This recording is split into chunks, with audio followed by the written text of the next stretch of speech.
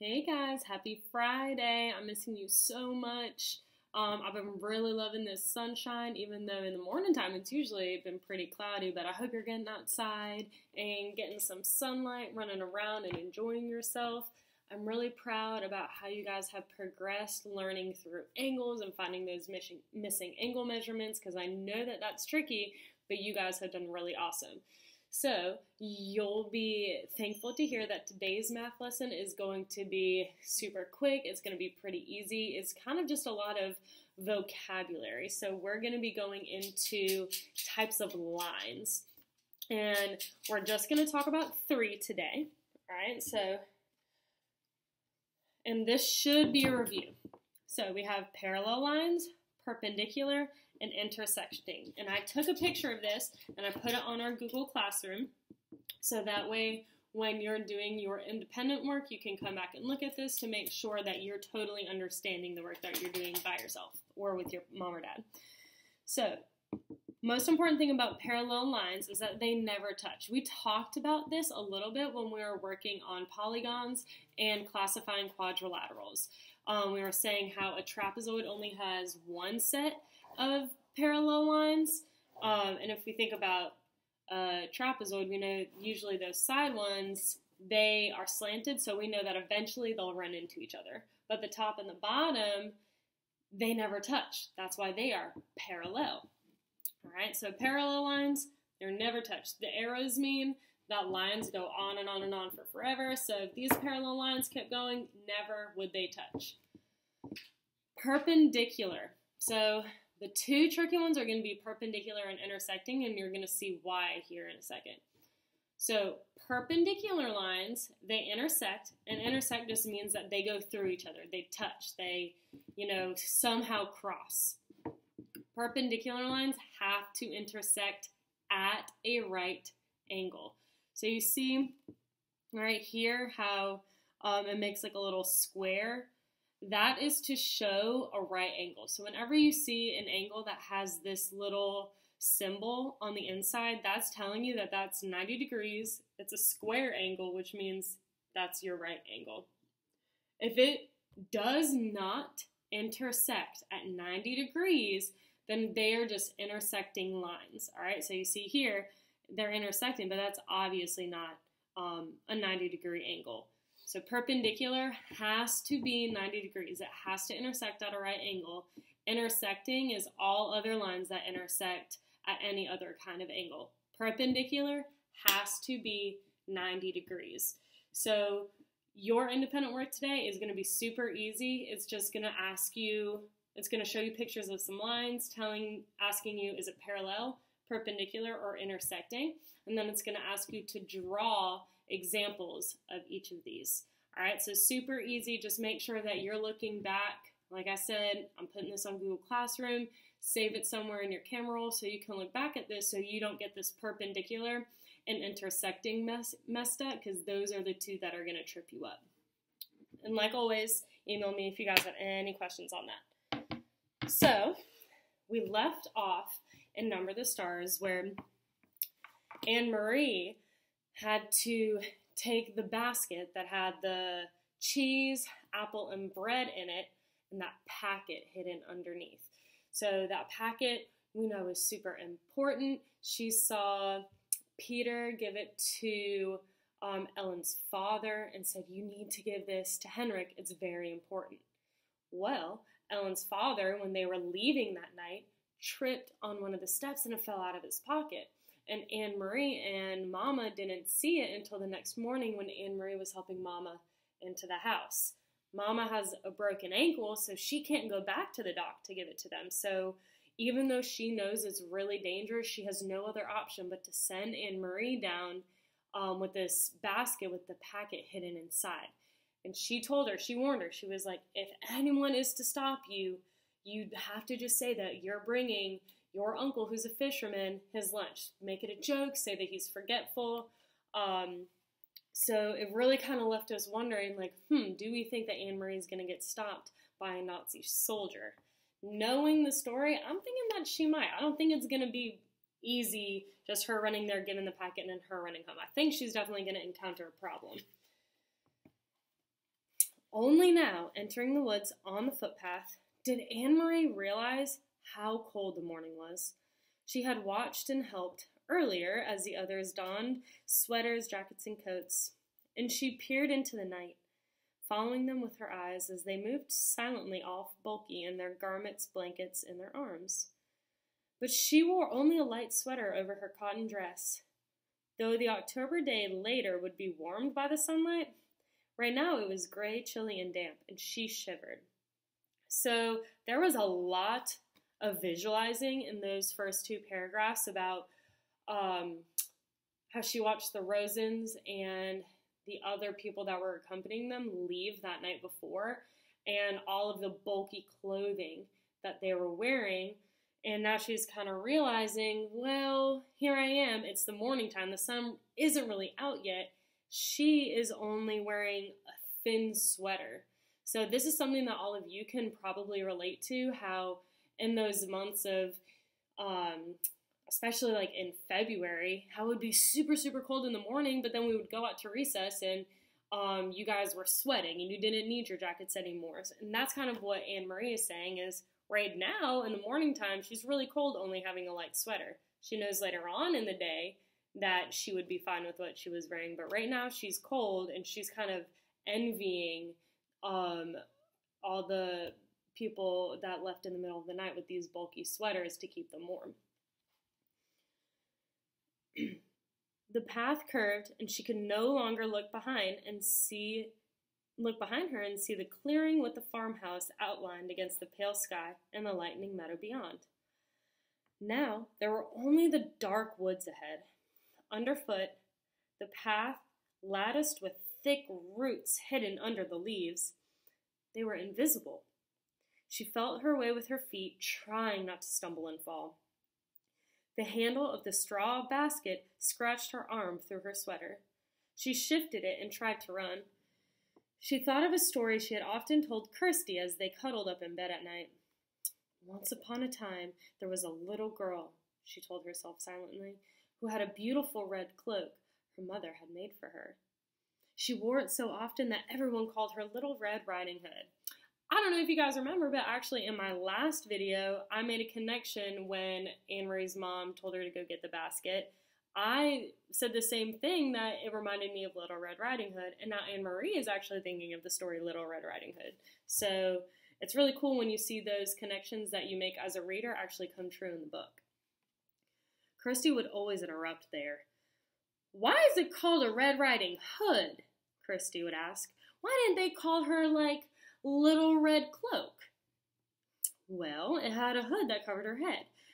She had beautiful curls just like you, Kirsti. Maybe someday Mama will make you a coat with a hood to cover your curls and keep you warm. But why? Kirsti would ask. Why was it a riding hood? Was she riding a horse? Maybe she had a horse and she rode sometimes, but not in this story. Now stop interrupting me every minute. Anne Marie smiled in her memory, feeling her way through the dark, remembering how Kirsti always interrupted stories to ask questions. Often, she just wanted to make the story last longer. The story continued. One day, the little girl's mother said, I want you to take a basket of food to your grandmother. She's sick in bed. Come, let me tie your red cloak. The grandmother lived deep in the woods, didn't she? Kirsti would ask. In the dangerous wood where, woods where the wolves lived? Anne Marie heard a small noise. A squirrel, perhaps? A rabbit? Scampering nearby? But she paused. She stood still on the path and smiled again. Kirsti would have been frightened. She would have grabbed Anne Marie's hand and said, A wolf, a wolf! But Anne Marie knew that these woods were not like the woods in the story. There were no wolves or bears or tigers, none of the beasts that populated Kirsti's vivid imagination. So she hurried on. Still, they were very dark, these woods. Anne Marie had never followed this path in the dark before. She told her mother she would run, and she tried. Here the path turned. She knew the turning well, though it seemed different in the dark. As she turned to the left, it would take her to the road, out where it would be lighter and wider and more traveled. But it would be more dangerous, too. Someone could see her on the road. At this time of dawn, other fishermen would be on the road, hurrying to their boats for the long day at sea. And there might be soldiers. She turned to the right and headed deeper into the woods. It was why Mama and Peter had needed to guide those. Sorry, it was why Mama and Peter had needed to guide those who were strangers here, the Rosens and the others. A wrong turn could have taken them into danger easily. So Little Red Riding Hood carried the basket of food and hurried along through the woods. It was a lovely morning, and birds were singing.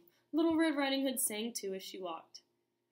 Sometimes Anne Marie changed that part of the story, telling it to Kirsti. Sometimes it was raining or even snowing in the woods. Sometimes it was evening with long, frightening shadows, so that Kirsti, listening, would snuggle closer and wrap her arms around Anne Marie. But now, telling it to herself, Anne Marie wanted sunlight and birds singing. Here, the path widened and flattened. It was a place where the woods opened on one side and the path curved beside a meadow at the edge of the sea. Here she could run, and she did. Here, in daylight, there would be cows in the meadow, and on summer afternoons, Anne Marie would always stop by the fence and hold out handfuls of grass, which the curious cows would take with their rough tongues. Here, her mother had told her, Mamma would always stop too as a child walking to school. Her dog, Trofast, would wriggle under the fence and run about in the meadow, barking excitedly, trying to chase the cows, who always ignored him. But the meadow was empty now, and the colorless and they were colorless in the half light. She could hear the churning sea beyond, and see the wash of daylight to the east over Sweden. And she ran as fast as she could, searching with her eyes for the place ahead where the path, path would re enter the woods in its final segment, which led into town. Here, the bushes were overgrown and it was difficult to see the path there. But she found the entrance beside the high blueberry bushes. How often she stopped there in late summer to pick a handful of those sweet berries. Her hands and mouth would be blue afterwards. Mamma always laughed when she came home. Now it was dark again, as the trees and bushes closed around her, and she had to move more slowly, though she still tried to run. Anne Marie thought of Mamma, her ankles so swollen and her face so in pain. She hoped Mamma had called the doctor by now. The local doctor was an old man, brusque and businesslike, through kind eyes. He had come to the farmhouse several times during the summers of the past, his battered car noisy on the dirt road. He had come once when Kirsti, a tiny baby then, had been sick and wailing with an earache. And he had come when Lise had spilled hot grease cooking breakfast and burned her hand. Anne Marie turned again as the path divided once more. The left fork would take her directly into the village. It was the way they had come from the train and the way Mamma had walked to school as a girl.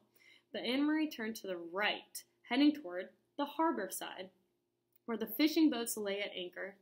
She had often come this way before, too, sometimes at the end of the afternoon, to pick up Ingeborg, Uncle Henrik's boat, from the many returning, and to watch him and his helpers unload the day's catch of slippery, shimmering herring still flopping in their containers.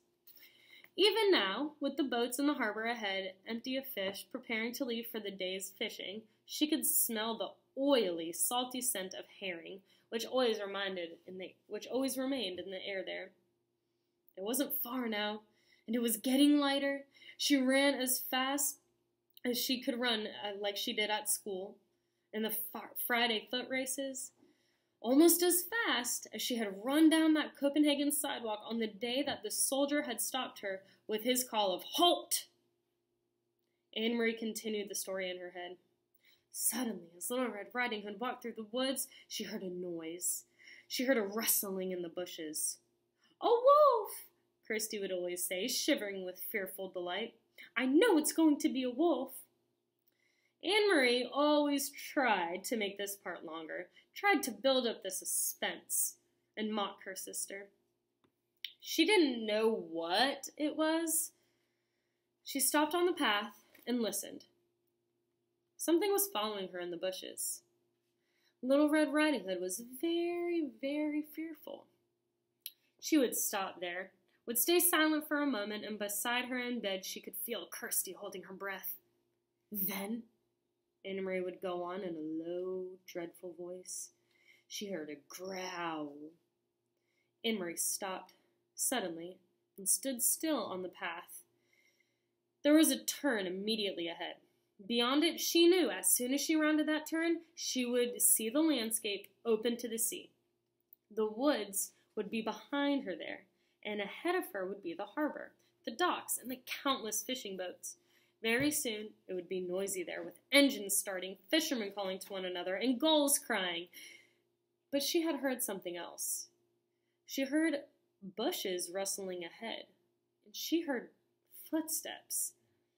And she was certain it was not her imagination. She heard a low growl. Cautiously, she took a step forward, and then another. She approached the turn in the path, and the noises continued. Then, there they were, in front of her. Four armed soldiers with them, straining at taut leashes, were two large dogs, their eyes glittering and their lips curled. So, she gets to the final turn where she knows as soon as she makes this turn, she's going to be at the harbor. She can run down that dock, give Uncle Henrik exactly what they need so that the Rosens can be prepared to um, survive in Sweden. And all of a sudden, she sees these soldiers with two dogs. Now, for your exit ticket, I want you to answer the question why do you think the author, why do you think Lois Lowry is mentioning the story of Little Red Riding Hood in this chapter? What does the story about Little Red Riding Hood have to do with what Anne Marie is going on right now? Okay, what is she doing in this chapter that is very similar to Little Red Riding Hood? So that's the exit ticket that I want you to type up on your Google Doc today. I hope you guys have a wonderful weekend. Make sure you get outside and play. Uh, make sure you give your mom, dad, sister, brother, everybody a big hug. And have a great day. I love you guys.